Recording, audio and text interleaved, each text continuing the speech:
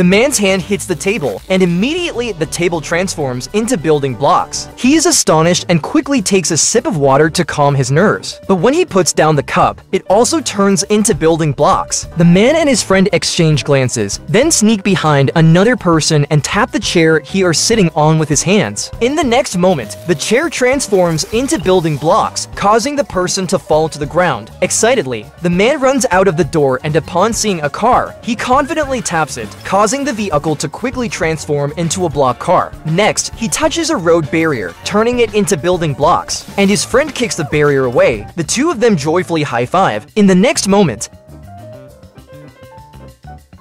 the man looks at his friend, who has turned into building blocks. He tries to put his friend back together, but no matter how he tries, he can't assemble him. In the end, he puts on finger protectors, taps on the keyboard a few times, and sells the building blocks online.